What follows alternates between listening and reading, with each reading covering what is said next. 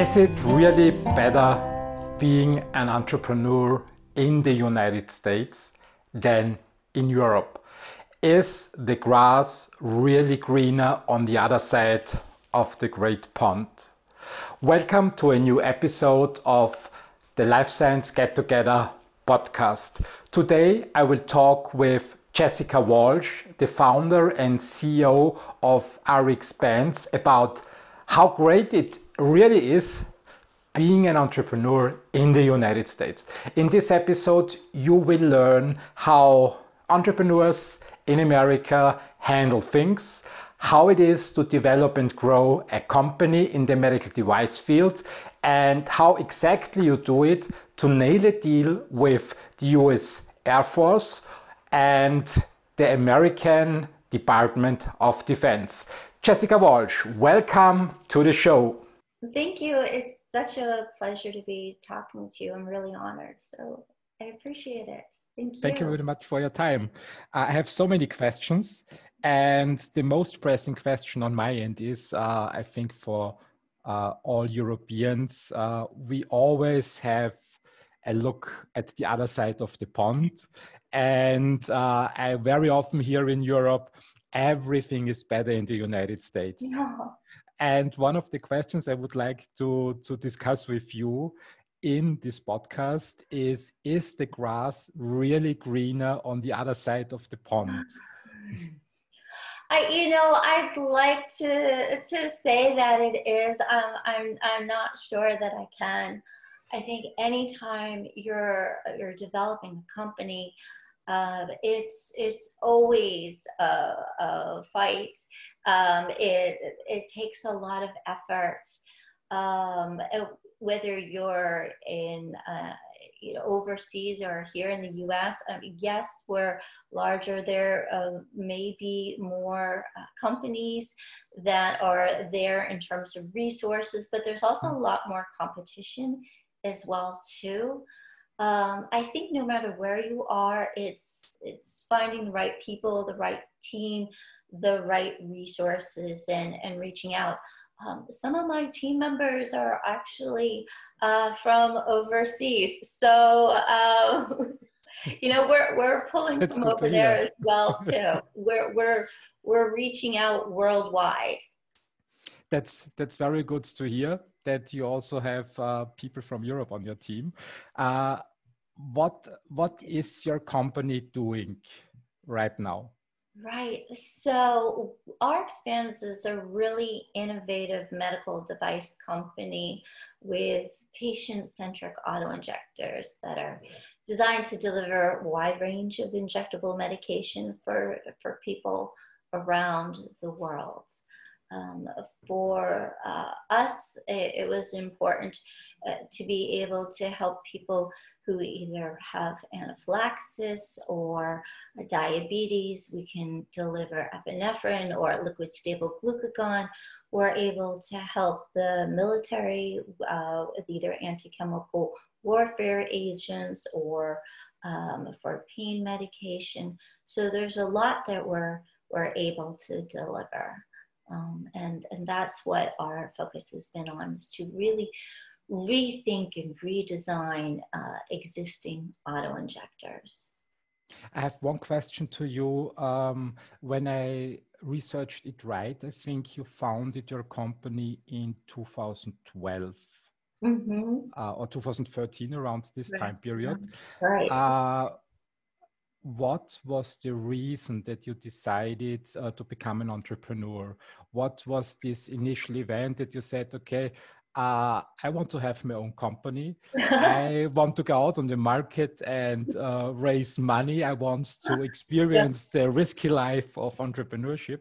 And eventually, maybe somewhere 30 years in the future, uh, I become rich. What was, what was the initial event that uh, made you go in that direction? what were you thinking right um, so uh, it was it was personal um, i found out i was allergic uh, to bee stings uh, i had been stung many times before as a child i never had an anaphylactic reaction and then one time uh, at night, I'm walking through the kitchen barefoot and I step on a bee. So, not the place that you think that you're mm-hmm. going to get stung. I originally thought it was glass, and as I sat down to pluck it out, uh, no sooner um, I had a massive anaphylactic reaction. And it's amazing how quickly it can come on. You think, you know, if I set my mind to something, I can accomplish anything. Yeah, that mm-hmm. is not one of them. Uh, so off to the ER I go and prescribe to carry an EpiPen with me, which is uh, similar to your Jext. I'm not sure if you you've seen them, um, uh, but six inches long, right? It, it's huge. Yeah. Um, and I'm thinking, okay, I'm allergic to bees. And they said, given the severity of your anaphylactic reaction, you need to carry this with you at all times. So I run and I'm thinking, okay, where am I going to put this? So I ended up duct taping it to my arm. I look ridiculous. I'm thinking, oh, you know, there has got to be a better way. And as I did research, I found two thirds of people who are prescribed to carry auto injectors don't carry them. Mm-hmm. Uh, parents are fighting with their kids to carry them. One out of three are bullied in schools for having them. Oh. Um, 70% of people don't remember how to carry them a year later. Um, and sadly, 40% who died of an anaphylactic reaction never got to their auto injector. It's because, you know, that two thirds of people who prescribed it don't carry it and choose the rest mm-hmm. of their life. You think, well, okay, you know, this, there's got to be something else out there. There's got to be better options. And I found that there, there really weren't. So, um, and on top of that, they're really expensive and they expire each year. So after having it, I said, hmm, you know, what is this made of? Like gold? Let me take it apart. because that's, you know, what you do. You think, well, yeah. what's in this? You know, why is it so big? And I took it apart and I found the amount of medication that's injected is is probably about the size of my pinky nail. So really? Be kidding. So if you've ever, like, as a child, if you've ever had one of those boxes and the box is big and it's beautiful, and you open yeah. up and tiny little, I was like, you got it. Like, when was this design? And it was back in World War II, and it hadn't substantially changed since yeah. that time. I was thinking, this is really unconscionable. People are dying, their lives are at risk, and we're still carrying around something that was designed back then. Just thinking, you know, look at what has happened with our phones in terms of innovation. If we were still carrying around phones that were like in the like in the seventies, right? the cord. we wouldn't have it. I was like, yeah. you know, even the latest model cell phone is too big. It's just like so. We like to think that our uh, we could do better, mm-hmm. um, and so our team got to work and we we created our mini Miniject auto injector so i'll show you here real quick so mm-hmm. we like to think of it as like the iphone cool.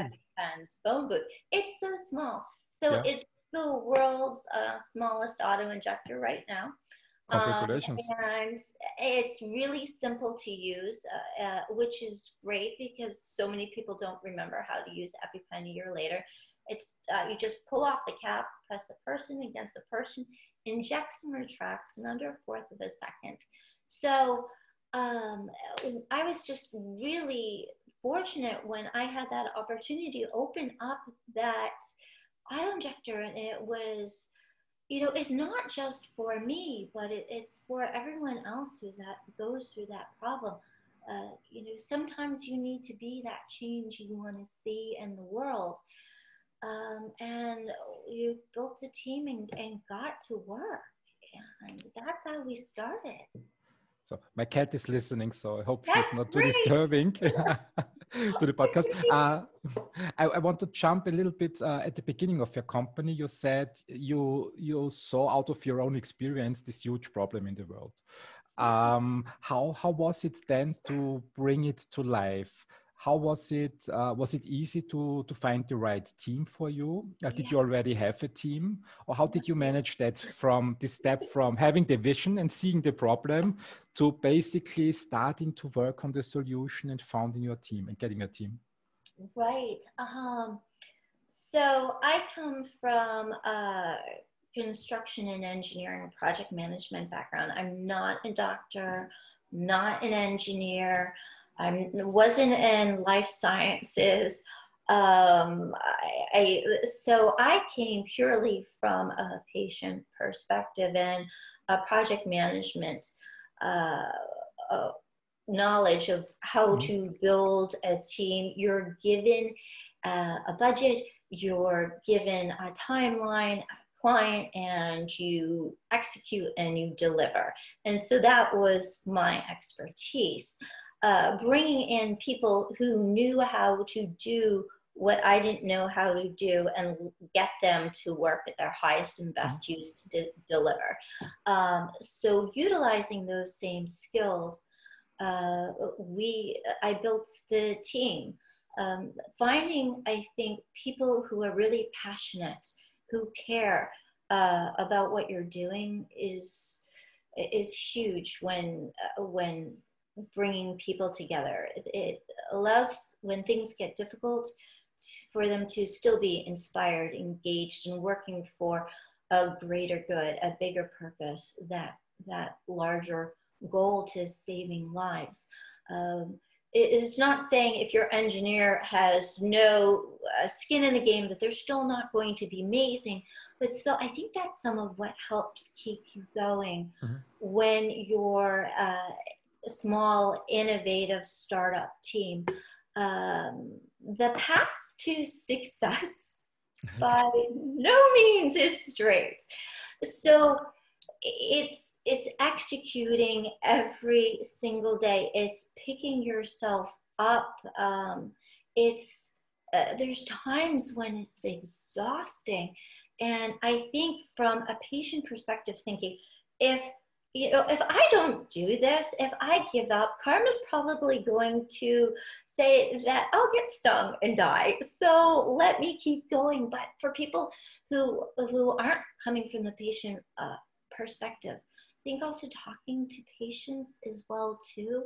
Uh, with your on the uh, therapeutic side and spending time, it not only helps you to understand who you're working for, but after I speak with the children who have anaphylaxis mm-hmm. or the parents who've lost their kids and they're like, this is amazing. Don't stop. It, it gives you, it gives you goosebumps. It makes what you're doing real. It's more than just developing springs and uh, you know needles and therapeutics. It, it really gives you perspective that uh, and the honor to be part of a life science mm-hmm. where you're you're you're helping to change lives to improve health to to save people and i think that's um, one thing that all the entrepreneurs and, and life sciences have like if you have an idea that can change someone's health by, by all means don't stop it's it's not going to be easy, but mm-hmm. keep that goal in mind. So, um, yeah, it the path not straight. There, there's many times we've got stuck, um, but I almost I like to think about it as almost four wheel driving. If you ever think of a truck stuck yeah. in the mud. Yeah right? And if you just keep trying to plow forward and you're spinning your wheels and mud is flying and every way, it is just you're just really spinning your wheels. Sometimes you have to back up. Sometimes you have to say, all right, everyone out, push. sometimes you have to go slogging through the mud yeah, yeah. to go say, hey, can you guys come help push? I mean, find find those advisors, find those mentors who can who can even if it's in the moment in your journey get behind and help push you or find that that mat something that's going to give you that mm-hmm. grip and really get traction uh, for the moment sometimes you have to rock a little bit backwards to to make that progress through your bumpy journey, you know, down through the to the path towards your end goal. So um so yeah, no, the the path isn't easy. Yeah. It's it's not straight. Um, it takes a lot of work and hard effort, but man, is it rewarding. It really, really is. And, and when you're able to celebrate those successes, even just getting out of that one pothole, I mean, like, just take the time with your team. Like, yes, we did it. We all pushed together. We got it. I mean, even if it's not your end goal, like celebrate those little, those little successes. It's it's so key to the morale um, and, and, and keeping you going and and people engaged and inspired. A very inspiring uh, speech. Many thanks for that. You covered, yeah, you covered a lot of topics. I think one one thing that you were talking about is having a sound vision and a clear goal of what you would like to achieve, and being really passionate about that. And I think the the great thing in life science in our industry is that we really can help to save lives. That we really can help parents um, that their kids enjoy a life of health instead of suffering from disease. I think this is a huge advantage of being in life science. Really, if you've been given the idea, if I so much you should say, if you've been blessed with the a solution, I mean that could really change lives. I mean, that's an honor in yeah. itself. That's that's not something that comes to everyone and to think that you might stop because it's too hard. I mean, I'm here to say that you know I believe in you. You you can you can do this. Um, most things worthwhile in life are, are not easy. God, they take perseverance, um, but don't quit. Oh yeah. Right? This just bring in that the team, bring in those resources. You make that difference and having that clear goal, uh, picturing your therapeutic or your medical device at, at, and having that vision in someone's hands, saving someone's life. I mean, um, and and be open to your your vision changing and adapting and, and pivoting we, we didn't always look like this. Um, our, our, original innovation was uh, more of a bracelet. Mm-hmm. And as we uh, spoke with more and more patients, they said, Oh, this is a great idea. This is wonderful. Uh, we can put different covers on it. We can carry it and on our backpack. It's like, well, wait a minute it's a bracelet. Oh, but I can easily put it in my pocket. So yeah, okay. No, it's a bracelet, and it was. Uh, we were working with the New England Pediatric Device Consortium at the time. We had uh, won this award where we not got just oh, we were awarded a little bit of funds, but also resources that were wonderful. So they helped us pivot to really listen to our customers and say, you know, it's better but it's not quite there yet. So we've given it an accessory attachment so it can uh, clip to the back of a phone. Mm-hmm. It can clip to a waistband for that child who wears the sport shorts without pockets. You know, who doesn't necessarily want a bracelet on um, for it to go to the mom who always carries her keys but can never find her sunglasses, right? Like you, it's like, great, I want to attach this to my keychain. And it's mm-hmm. small enough that you can do that. So we we had to be open to really listening and sometimes your vision has to has to change has to adapt mm-hmm. um, uh, just as uh, for other companies, you've seen large companies that haven't pivoted and adapted. I mean, at least here in the US, we used to watch movies always in the cassettes that you pop in and you go to some place and you would get those. And now we watch everything online, but the companies that didn't adapt from going from that rental where you go into the store, right? They they didn't. And and um, um, you know there there were names that were prevalent uh, organization names that were huge that were well known to us that that no longer exist mm. so so really listen to your patients really listen to your customers and and and and yes have a clear vision but be open to doing that um, to making those changes and i think also when you're when you're making those changes make sure your your team can all move together.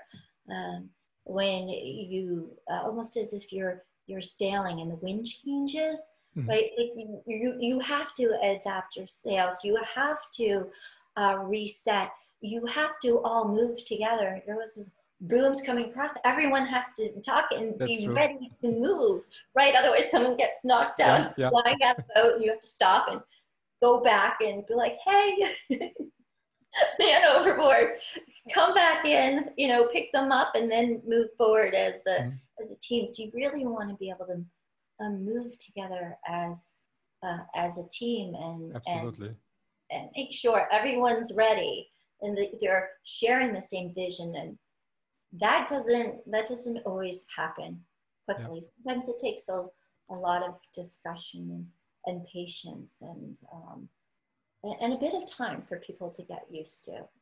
Yeah.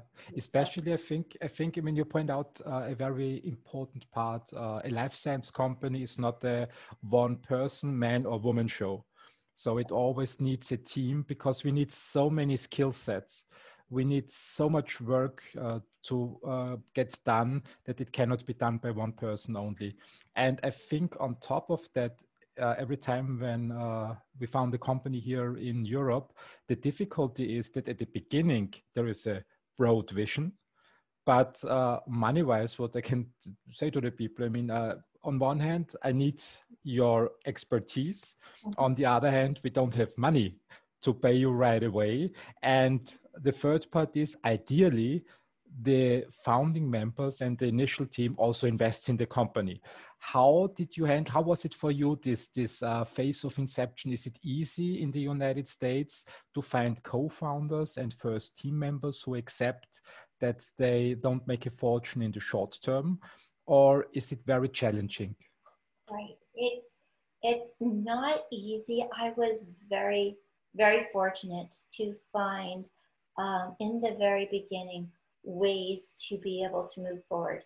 Um, so I initially, in the very inception, I uh, used online services such as Odesk and Elance to bring in resources that I needed for uh, to get some of the work done. Um, or uh, Fiverr is another one where it's very affordable. You can bring in uh, people to help you execute, uh, to help share your vision, help attract that core team.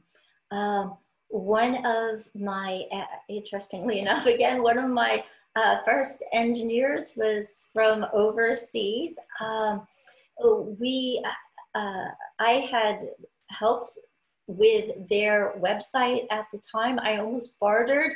They loved what we uh, we were working on. They got mm-hmm. involved um, being able to find people who were experts and cared and were uh, uh, about what you were uh, working on uh, made the difference to to get them inspired engaged. Yes equity in the beginning uh, makes all the difference. They're part of it. They're part of the team. They um, finding people who are very skilled who maybe are retired and uh, have that expertise, uh, want to be able to utilize their skills to be able to help move you forward, have that time, are incredibly knowledgeable. Uh, they've already made their money uh, and you can you can bring them in and they can help guide you because they've been there and done that and seen uh, seen that before is, is also very helpful uh, but it, the found the people who come in and initially aren't always the people who are are right for you as you develop. So mm-hmm. keep an open mind with that. They sometimes people come into your life or into your organization for a specific period of time and, and cherish that they were there and what they were able to contribute. And sometimes, as your company grows, you may grow out of their expertise. Yeah. And, um, and you're constantly iterating and, and bringing in new people and, and, and sometimes it's the young energetic person who like yes they want to uh, to they're crazy enough to want to be part of a startup and, and right? And they have that energy and, and dedication to to just keep fighting. So um, so that's really how i uh, attracted different people uh, through advisors through uh, different online resources. We were we were lucky enough to, uh, as I said, we won a couple of awards that brought gave us attention that helped us attract other people. Uh, some of those awards provided resources Great. as well too. So I can't say that it's uh, you know you go to startups are us and it, it's really there's no one path. I think you have to find what really works for you um, and and also figuring out what you need to execute. So saying what is my wish list? I think next steps to be I need uh, engineering design and mm-hmm. uh, go out and find that.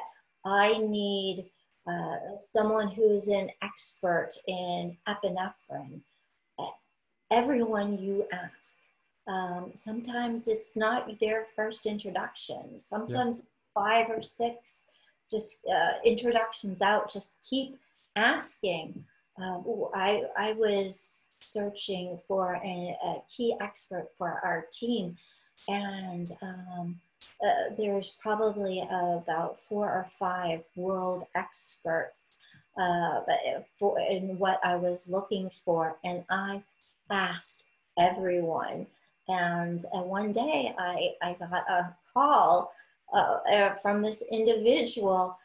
And oh my gosh, yours. It's just like, thank you. You, you will be heard. I just, it's, it's keep at it. Yeah, they're, they're great points you uh, you point out. I like especially the part uh, where you explained that sometimes uh, when the company grows and uh, pivots or when it gets more and more structured, um, different personalities are needed. So people that were there at the start might not be the right ones when the company grows. And sometimes I see that people spend too much time in trying to change people in the company instead of exchanging people in the company for the good of it. Uh, how do you handle that when, when you come to that point that you say, okay, uh, one of your team members was good for the last two years because it was a certain situation and now you need a new one and let to uh, let the team member go. How do you handle that so that you still have this positive spin in the company? So they still they still have value right? If sometimes if you're bringing on in the beginning someone who uh, has the expertise, um, but maybe they're uh, retired and uh, they they can help get you started, but might not want to do the daily grind that's required for a startup. yeah. it's it's uh, I mean it's taxing. It's an effort. So so uh, know that have, have those conversations in the beginning say, okay, you're, you'll come in for this part for an equity basis and then uh, transition to an advisor. So, uh, so you can adapt and, and change and say, great, they start off in, in a higher level position. You, uh, you get to the point where they're saying, perfect, we're going to move you to an advisory. They already have equity. They already have a vested interest. They already care about what you're doing and they're there, but maybe it's not for the, you know, the day in, day out. Mm-hmm. Um, but uh, that appreciation for what they've accomplished doesn't go away just because they don't want to hold that uh, mm-hmm. title. any any longer, um, and you bring in, in someone new who, who does. Um, having those again, good contract, good conversations lead to good mm-hmm. contracts. Mm-hmm. It's a lot easier to um, have those conversations up front. Have the what ifs. What uh, you know, whether your comfort, whether your contract is uh, milestone based um, what, saying we want to want you to accomplish these certain goals, and once you accomplish these goals, you'll vest in your equity, or maybe it's over time uh, that uh, as you spend time, you'll vest um, over over that period. Uh, so there's many ways that you can then you can structure this so people feel appreciated yeah. and, and involved. It's good that you pointed out. So it's not always hire and fire.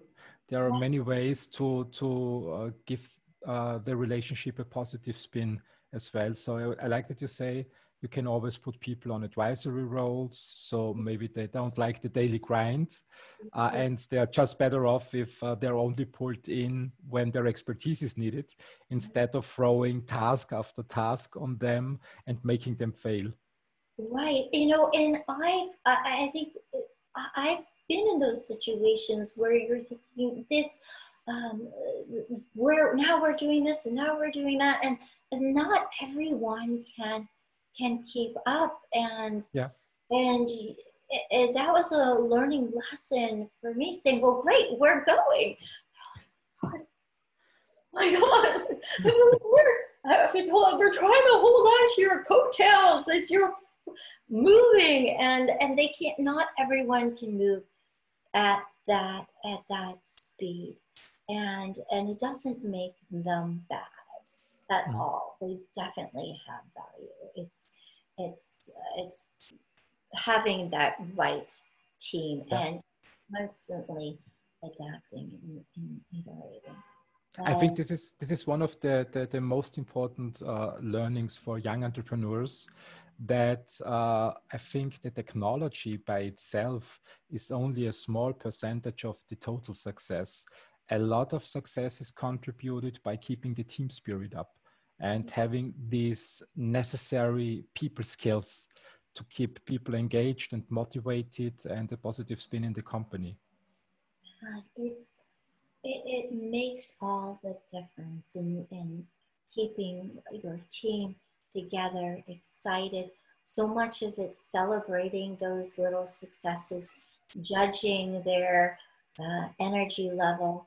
Uh, I, I, know I use a lot of analogies, but if you've ever seen someone uh, jumping horses, um, mm-hmm. you have all of these hurdles that you need yeah. to. I love riding, and um, you'll often see the rider as the horse is seeing this jump coming in front of them and they're checking up and they're setting them up for this hurdle and and sometimes it's really necessary you just can't fly through everything you have to ch- uh, check up get your team collected and say okay well, let's go let's make sure you know we're not flailing as we're trying to go clear these hurdles um, and not everyone is collected. You, mm-hmm. sometimes you you have someone who's you know uh, uh, you not quite in that mindset yet, and yep. uh, that preparation, that inspiration, that encouragement, uh, especially as a startup, you're you're constantly pushing into into things that maybe you haven't done before. That's that's it's great if you have an advisor, but sharing that belief of like, okay, we can figure this out, guys. Like we can do this. And and and getting that team together to be able to move forward. I, re- I really love that part of entrepreneurship. Um, getting the right advisor. I mean, the first thing always is realizing that there is a problem, which, which is not easy because an entrepreneur very often has to step into areas where he or she is not really proficient in. So there's this feeling first of, I know that something is not really right. And uh, but I don't know whom to talk to because I really, I, I, I, there is something, but I don't see it. And I think this, uh, this skill to identify problems, to name problems are key to success for every entrepreneur because it's a pre-step to finding the right advisor. Uh, how do you handle that situations? Right. So, uh, problems. I think there's a, there's two. Uh, there's a mindset. I think there's two uh, different points in the middle. Is somewhere. At least I found was right that a lot of people will say, "Oh, uh, people are negative and don't listen to mm-hmm. tell uh, to negativity and problems." And then I feel like you're just plowing forward and you're not really listening. When people say you can't do this for whatever reason, listen to those people um, and then solve the problem. So, I mean, because everyone, when you're starting, it's just like, you know, there's huge pharmaceutical companies out there. You're never going to be able to do this. Ask why. Why I'm not going to be able to do this. Manufacturing is very difficult. Great, let's go figure out manufacturing. Yeah. Thank you. Thank you for telling me why I can't do this you're never going to be able to do this because of whatever reason. And there's a lot of that. And you, you can't just put your fingers in your ears and just no listen really listen but then but then solve those problems and find the, those resources and it's not always money i think our first in, instinct is to say well, I need money to solve this problem.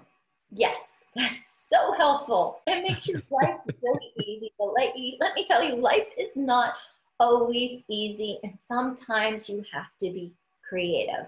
So yep. um, maybe it's equity.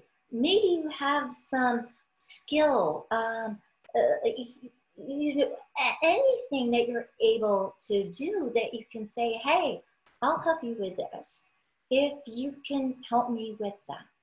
Um, and there, there's there's more ways to move forward and solve your problems. No, absolutely. I think I think Grant Cardone said something like I don't I have, don't have the exact quote in my mind right now, but he said something like, uh, "If you don't like problems, don't become an entrepreneur. If you want to be a successful entrepreneur, you must love solving problems, and if you want to become more successful, you must enjoy getting bigger bigger problems on your table."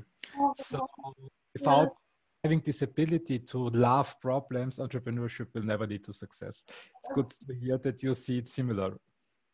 Yeah, you really, it's like if you think of it as a puzzle, and and if you think of each one as a learning lesson, I mean, you're going to make mistakes. God knows I've made so many of them. And, and sometimes you're really going to doubt yourself. And that's think that's the difference between yeah. you, you, you either stay down or you pick yourself up. Like you're going to be face down in that mud from pushing. You're yeah. going to flip.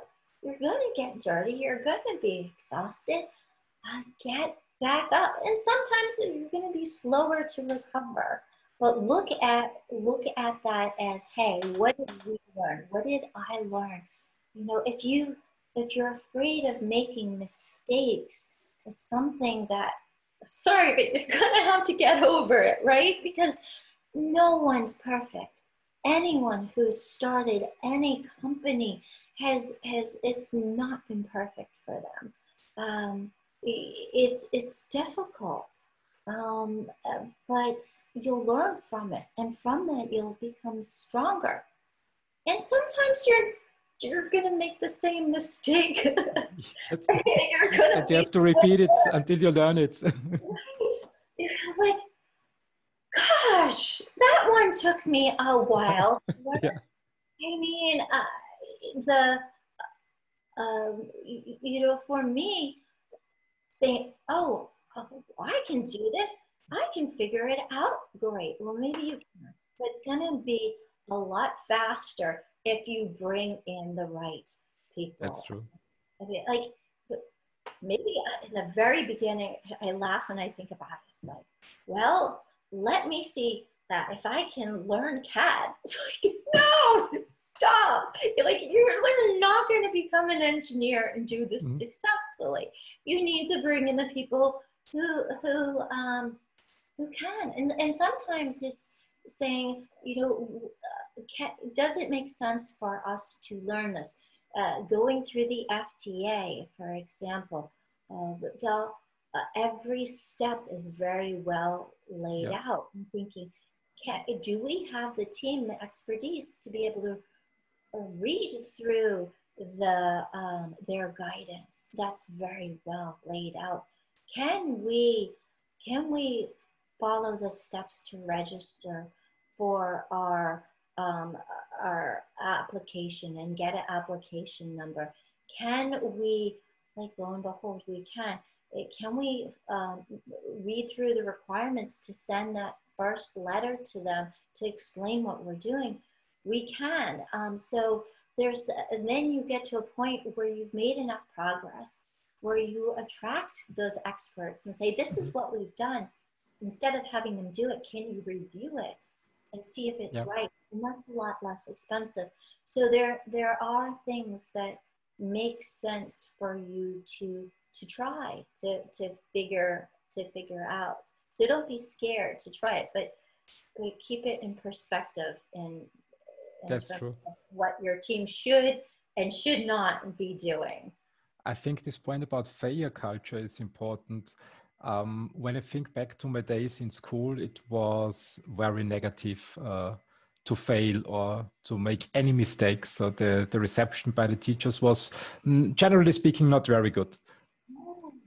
And as an entrepreneur, we have to unlearn this because it's part of the game. Right. What if I don't pass this test? What if I don't do this right? Uh, you know, even even when you're you're pitching and and um, uh, in competitions or whatnot, that that that oh my gosh, what if what if I if I don't do well? What if I say the wrong? Yeah you will you will get over it right you're gonna you're, you're, there's times that you're gonna be so scared um, so during our pre-ind meeting with the fda i like i was the night i couldn't sleep the night before I before the meeting, I was like, my God, I feel sick to my stomach. I like we're talking to the FDA. I, I was so so scared. They were the nicest people. I mean, sometimes you have to look at the fears that you build up in your mind.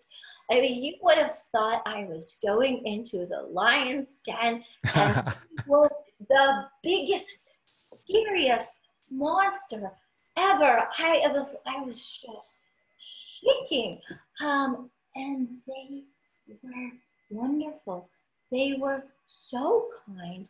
They were, they say, well, you could do it that way, or you may consider, and then they gave us the most wonderful recommendations and advice and guidance. And as you look at that, that's really what they're set up to do. They're not there to to make you wrong or to hurt you their end goal is to keep patients safe and for your device or you, or what you're creating to um, to be safe and effective for use and they're really there to help you to do that and i said look come to us you know uh, show us your plan and that's really what the pre-ind meeting is mm-hmm. ask us your your questions we're going to give you guidance how to do this um, and then when you come up with your test plans, send it to us. We'll review it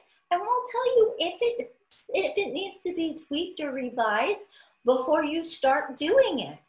Um, and such a sigh of relief. I was like, my, and I had told them like, thank you guys after the meeting. So, so be careful about what you're building up in your mind or what other people are thinking uh, more than likely they're not. And um, I, have had meetings where, or um, in on the stage and, and and everyone, I just, I just, I thought, oh, they're, they're bored. They're not going to like what I, am talking about. Everyone else is doing something that's so much more interesting. And then I had a line of people coming up to talk to me yeah. after. I was, and they're saying, "Oh, we love this part." I was, I, you know, I was. You you build things, especially as a new entrepreneur, up in your mind. I would like to say, "Don't do it." You will. Try try to remember. Give your best, yeah. Right. Give yours. Cut yourself some slack. Really, please We've I've, all been there. I think it's an important part that you mentioned that that successful people it's not that successful people are not afraid and don't have emotions and are always confident. It's just they don't care. They don't give in. They don't give in to emotions and don't punish themselves unnecessary and stay home. They just get up and get out there. And of course they are scared. So going on a stage is always uh, something that's exciting, that is new, it's a new audience, and uh, it's it's it's normal, it's human to be afraid and to have fears. Exactly, it it really is, and I'd like to say, don't do it, and and you will. That every entrepreneurs doubted themselves. Um, lean in, lean into it, recognize it, say, okay why do I feel so anxious? Why do I feel scared? Well, I think this. And when you start to break it down, yeah. it's really not as scary. It's it's not giving into the fear. It's moving forward in face of that. Because you you will. You're gonna doubt yourself. You're gonna feel scared. There's gonna be times you're like you're gonna be up in the middle of the night making this saying, what made me think that I could do this? Right? My gosh. And if like, no, at least it's a, uh, for me, it was, it was the uh, moms who had lost children. Mm. Was like, who said, please get this done. You'll find you're the thing that makes you get up and get moving when you when you feel that you're stuck or you're scared that that higher and and from you know that's one thing really as we were saying before life sciences you can reach to people are curing cancer many yep. people coming up with new therapeutics. You're improving the quality of life. Keep going. Don't yep. stop. What you're doing uh, will not just change people's lives but their families too. Um, you know, babies and children and mothers and sons. It's just not just that one person. It's That's and true. what those people will do. And, and that is enough to, get your butt up on that stage, right? Like spend that extra hour, make that extra call, share your passion. We're really in a unique position uh, uh, to do that. I can absolutely agree to that. You mentioned in the talk that you had uh, FDA meetings. So I'm curious, at what stage is your technology right now? Is it uh, a working prototype? Is it on the market already? Where are you in your development? Right. So we're going through the FDA approval process. Uh, we were lucky we were approved for an expedited pathway. Uh, it's called cool. a 505b2 which allows us uh, for our epinephrine autoinjector. We don't need to prove the efficacy of epinephrine. For us, that was a huge win. The FDA said, look, we know what the efficacy is of epinephrine in a glass cartridge delivered mm-hmm. into muscular. You can uh, supplement your application with existing uh, studies, uh, uh, which was wonderful. Um, so we have to do our device performance testing, we have to do our human factors and then stability studies. So we were so fortunate in that regard. Um, we're also working uh, with the military as well. So we'll follow a uh, path, similar pathway working with them. Um, so we're fortunate to have just received a, a phase one contract with the military. Right uh, we uh, it was just just a huge huge win for our part. Um, and, and, that was one of the things we were thinking originally Epinephrine, but then we found, you know, we can help the military, whether it's anti-chemical warfare agents, okay. replacing um, for our auto injector, we're following a pathway to deliver ketamine, which would be um, a safer, uh, more effective alternative for morphine. So we're, we're working to pursue that pathway currently. Um, we're, we're also working, we just found out just the other day, we were mm-hmm. uh, awarded a, a, contract with uh, the Chemical Biological Defense uh, Department of the DoD. Congratulations. Thank you. I was huge for some of the technology that uh, we're, we'll be placing in our auto injector to really make it uh, shatter resistant, uh, shatter proof. So there's, we're, we're finding that there's, there's many pathways forward. It's the auto injector, but then it's also some of the technology in the auto injector that has the ability to be licensed out. Um, we're talking. One question from my end. Uh, you mentioned that you have a contract with the US Army and another contract, I think, with the DoD, if I got it right. Course. Yeah. How how did that work? Is it easy uh, to get these, uh, let's say, customer relationships built, uh, or does it take a lot of time uh, from the first contact until you finally sign sign the contract? So it took us a long time, um, but there are faster pathways forward. So I'm happy to share some insights from our perspective to help future entrepreneurs or entrepreneurs um, that would like to work with the uh, US government. I am by no means an expert, I can just share our experience. Um, first, get registered. Um, there are certain requirements that you have to meet. They take some time to put into place. You have to have DUNS numbers, you have to be registered.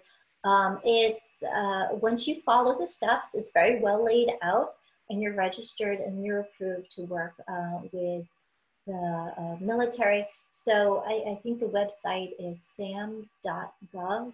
Uh, so that's a good starting place to get, and, uh, get your registration and all the uh, paperwork in order. From there, work with, with the Air Force. They have AFWERX Challenge program, which is an in, uh, technology innovation part of the Air Force. So it's uh, it's actually called AFWERX, and I want to be able to share this with you guys. So mm-hmm. it's AFWERX challenge.com. Mm-hmm. And so they put out solicitations for we're trying to solve this problem. So if you have a technology that can help uh, submit an application. And we want to see it. Uh, so they'll move you through phases. Uh, first phase would be phase one. Mm-hmm. Um, and they, I think they do them every three months. It's uh, 15 uh, uh, page uh, PowerPoint slide and a, a, tech volume that's it's also short, probably another 15 pages. There's a couple of other documents. It's not that bad. They're, uh, they award them to companies that they find fit in uh, niche. So they also do an open solicitation. So if it's something they haven't thought of that they need, they'll they'll um, have that opportunity to be able to mm-hmm. say, hey, this could help the Air Force in this way. Um, they're also doing joint ventures. So even though it's AFWERX through the Air Force, they, they bring in the Army and Navy as well, and they're through um, SBIR programs. So that's how they award the money through a small business uh, innovation. Um, you have to meet certain requirements, be less than 500 people, which for most startups isn't a, a problem. And um, so definitely, if there's something that, that you feel uh, could be of benefit, reach out. There, there's there's ways uh, to to do that. Um, even if the even if the company, the startup, is not a US based company, so I think they're open also to European companies.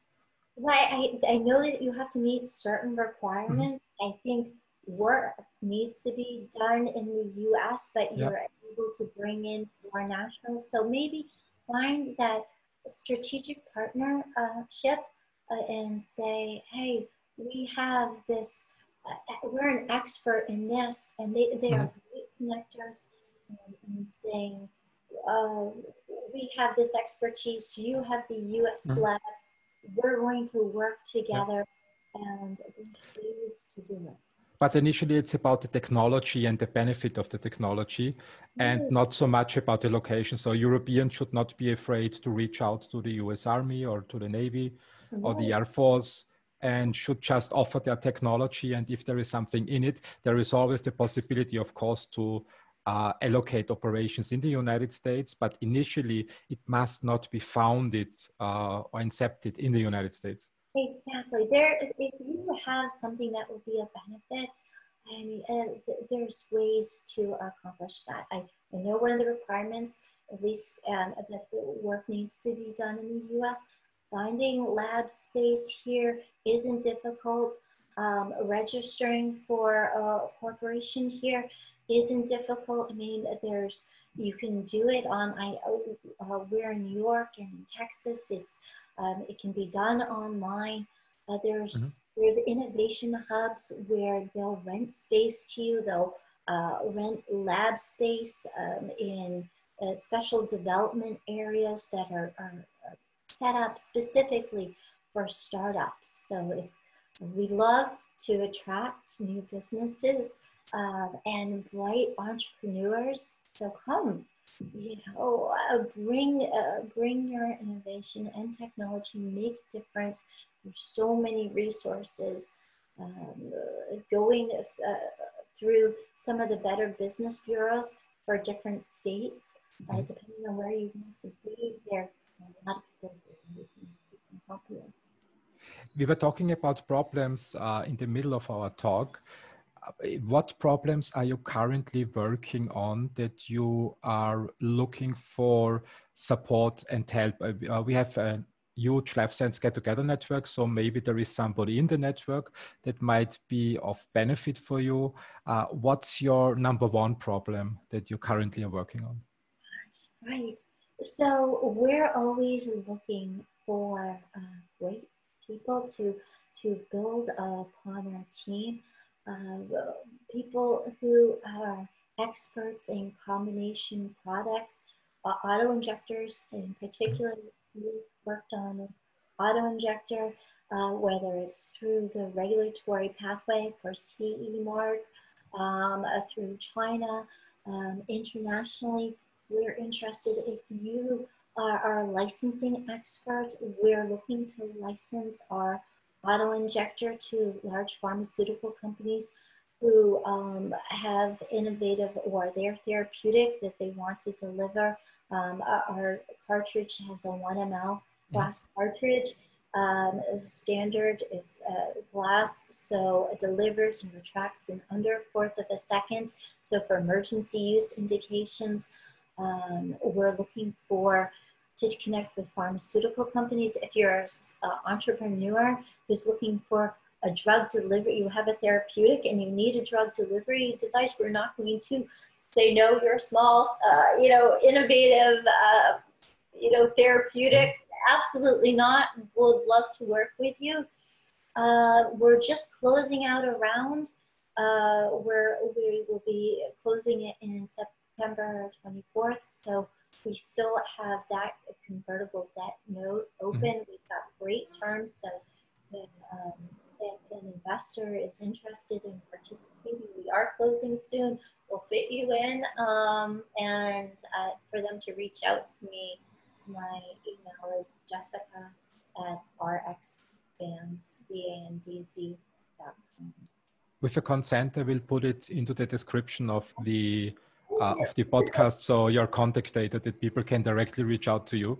You. Uh, one last question. We're at the end of uh, this episode. Uh, one last question to you. So let's assume that you can go back in time uh, when you were in your late teens, early 20s. Uh, what advice would you give your younger self with the expertise and the experience you gained? Uh, build teams, that your team is critical. Ask for help. Ask. Don't be afraid to reach out. Um, I, in the past, I think what uh, took a uh, took a longer period of time than it really needed to be is trying to figure out things yourself, thinking money, uh, you know, let me uh, bootstrap. Yes, bootstraps. The bootstrapping is great, but bring build that team.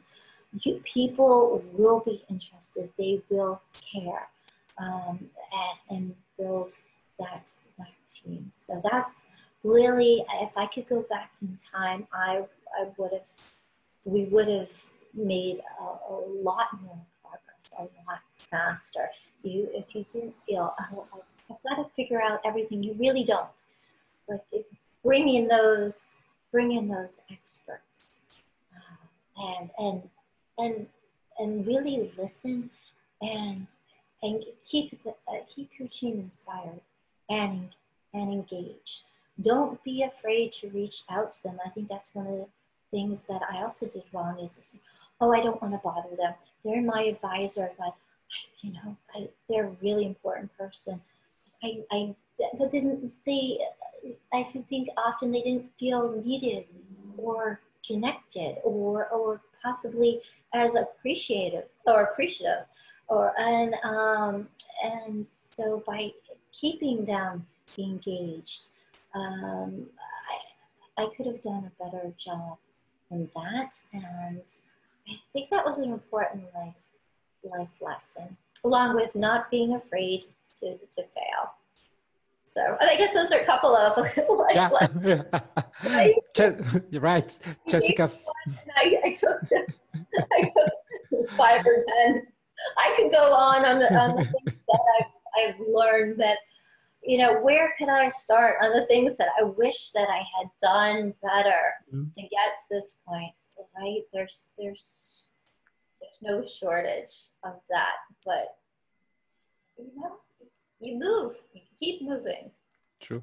Jessica, thank you very much for your time. It's always a huge pleasure talking to you. I wish you all the best for your company. Keep on moving forward. I think your technology is very much needed in the world. And uh, if anybody in the audience uh, has something to offer or can help, feel free to reach out to Jessica Walsh. I appreciate it. Thank you so much for your time. Thank you very much. Have a great day. You too. Bye bye. Thanks for listening. Please, please share the podcast and make sure you've subscribed. Have a great day.